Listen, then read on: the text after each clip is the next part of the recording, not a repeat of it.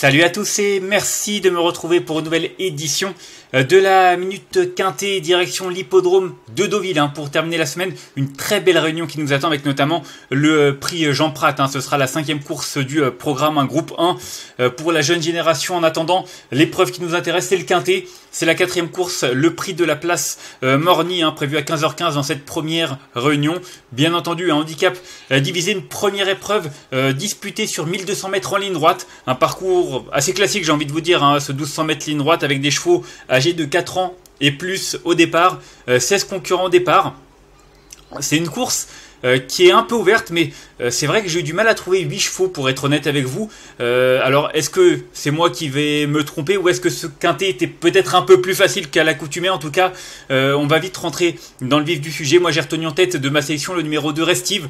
c'est un cheval que j'adore. depuis qu'il est muni de hier, il est irréprochable. À part une sixième place, il a toujours terminé dans les 4 premiers. Il a même réussi à remporter un quintet cette année. Donc un cheval qui a encore de la marge malgré tout. il l'a prouvé en dernier lieu dans la course référence, c'était au mois de mai, je crois d'ailleurs.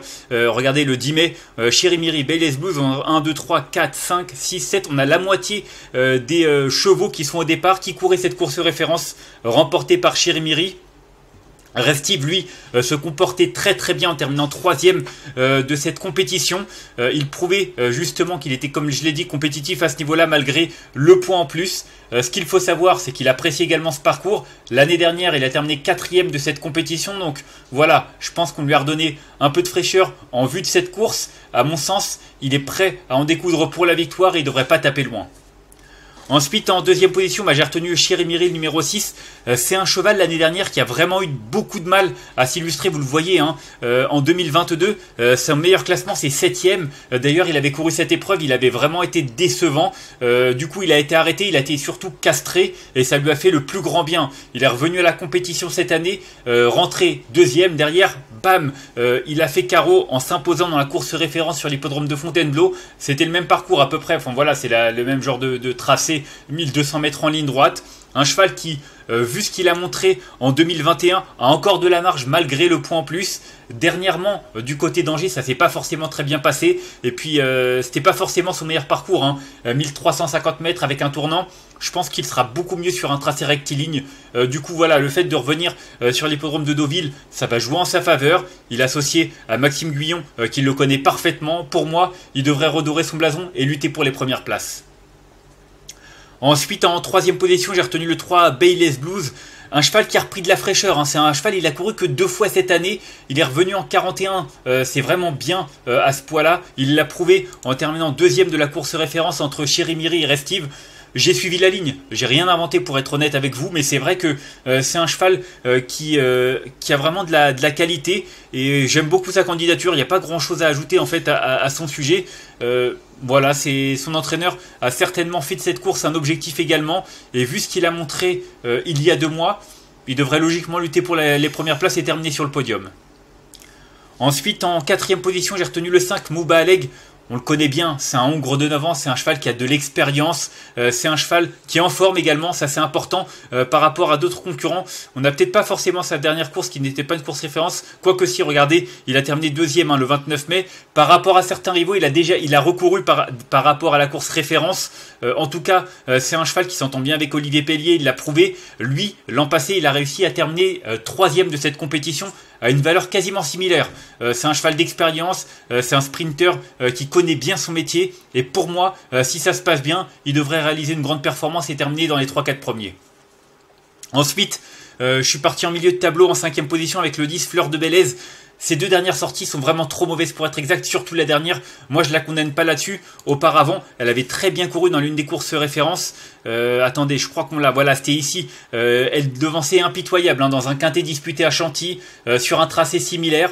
Une jument qui a prouvé qu'elle était capable de faire une pouliche, pardon, euh, c'est une jument, une pouliche de 4 ans, euh, qui a prouvé qu'elle était capable de bien faire dans cette catégorie, qui est bien placée dans les stalles de départ, qui est associée à Michael Barzalona. Pour moi, elle a beaucoup d'atouts dans son jeu, elle a surtout euh, les moyens de remettre les pendules à l'heure. Moi, en tout cas, je l'ai repris en confiance et je l'ai retenu en cinquième position. Ensuite, en sixième position, ce sera le numéro 11, Babassim. Alors Babassim, c'est ma botte secrète. Euh, il avait remporté un quintet l'été dernier sur ce parcours euh, face aux seuls 3 ans. Euh, depuis, il a vraiment eu beaucoup de mal à confirmer. Maintenant, il a quand même une performance assez intéressante. c'était où? Je crois qu'on la voilà. C'était ici derrière Impitoyable. Le prix Hubert de Cateux sur l'hippodrome de Fontainebleau fin mars. Il terminait quatrième, donc un cheval qui est compétitif à cette valeur, puisque c'est la valeur qu'il avait lorsqu'il a remporté son quintet sur ce parcours l'année dernière. il a prouvé qu'il était capable de bien faire face à ses aînés, ça c'est pas un problème. Et vraiment, je trouve qu'il a beaucoup d'atouts dans son jeu. Et pour son retour sur l'hippodrome de Deauville, je pense qu'il est capable de brouiller les cartes et de réaliser une performance de choix, d'autant qu'il a numéro 2 dans les stades de départ. Ensuite, en septième position, j'ai retenu le 4 Impitoyable. Impitoyable qui est un petit peu déçu hein, dans la course référence en terminant seulement sixième euh, du côté de Fontainebleau il y a deux mois. Vous le voyez, il était proposé à 3,80€. On s'attendait à mieux de sa part. Hein. Euh, c'est vrai qu'il avait montré qu'il était capable de bien faire après sa victoire dans un quintet en terminant justement troisième euh, derrière Fleur de Bélez. Derrière, voilà un petit coup de moins bien. Alors le fait d'avoir repris de la fraîcheur, ça va jouer en sa faveur à mon avis. On lui a donné un tout petit break comme ça, exprès, euh, pour pouvoir lui redonner sans doute un peu de fraîcheur en vue de cet objectif. Pour moi, même s'il porte 60 kg, c'est un concurrent qui est capable de bien faire, de prendre le train à son compte et de conserver une place. Et enfin, en huitième position, j'ai retenu le, le 12, Alula. J'avoue que je ne savais pas trop quoi retenir. Alula euh, a montré de la qualité hein, par le passé euh, avant d'être euh, de changer d'entraînement. Euh, c'est une jument qui avait montré qu'elle était capable de bien faire. je crois qu'elle est entraînée par Freddy Head, il me semble, montée par Boisseau, Ludovic Boisseau en tout cas.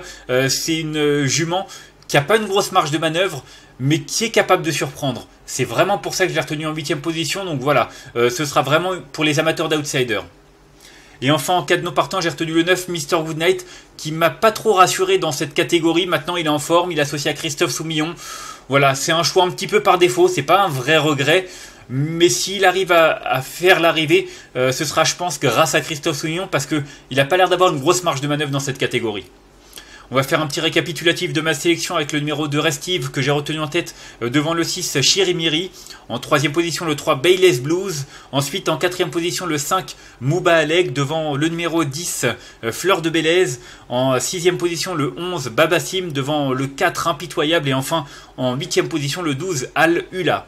Et en cas de non partant le 9 Mr Goodnight. Ce qui donne en chiffre le 2, le 6, le 3, le 5, le 10, le 11, le 4 et le numéro 12 en cas de non partant, le numéro 9 en conseil de jeu, bah pour moi le numéro 2 Restif c'est la très très bonne base. Euh, il a fait l'arrivée l'an passé, il a repris de la fraîcheur, il est compétitif à cette valeur, pour moi il a beaucoup d'atouts dans son jeu, il coche quasiment toutes les, les cases.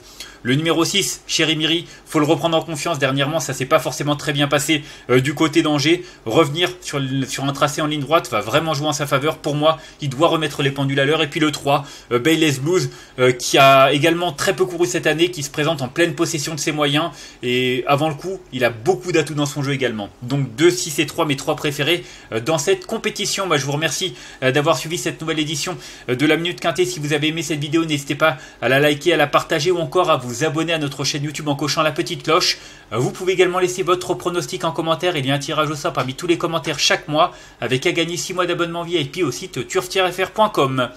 Moi, je vous retrouve demain. Euh, ce sera du côté de Chantilly, euh, en compagnie de Stayer, un 2400 mètres à parcourir. En attendant, je vous souhaite de bons jeux à tous et une bonne journée. Bye bye.